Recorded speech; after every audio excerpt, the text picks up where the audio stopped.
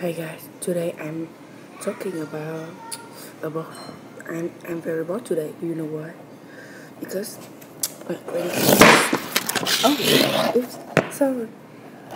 Today Grant Thompson is dead. It's true. Today I'm I'm very bored. I want to share with you. Grant Thompson is dead. I'm very bored.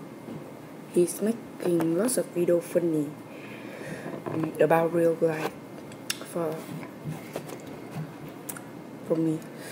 But today he's dead. I'm very sad. What I are